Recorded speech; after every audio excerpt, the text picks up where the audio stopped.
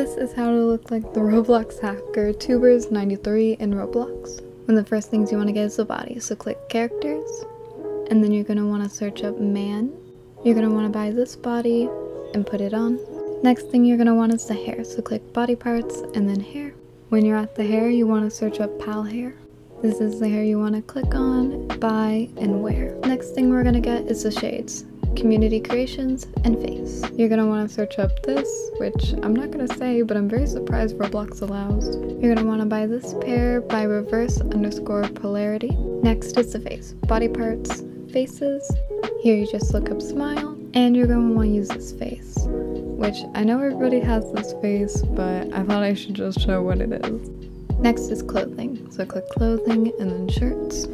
So you want to look up blue and black motorcycle shirt. You're going to want to get this shirt. Next the pants, so you click clothing and then pants. And you're going to want to search up dark green jeans.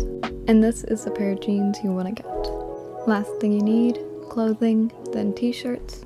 Now I don't know the original one, so I just typed in tubers93. And any of these will work. This one is the one I use. And that is how to look like the Roblox hacker Tubers93 in Roblox.